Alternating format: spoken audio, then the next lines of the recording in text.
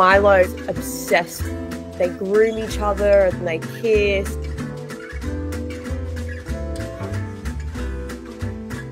Milo tries to cuddle, which seems like he's squashing him. But I look at Cracker and he just does not care. It was 2020. Milo was on a walk and heard this injured bird. You okay? You could tell he was quite shaken up by whatever he'd gone through.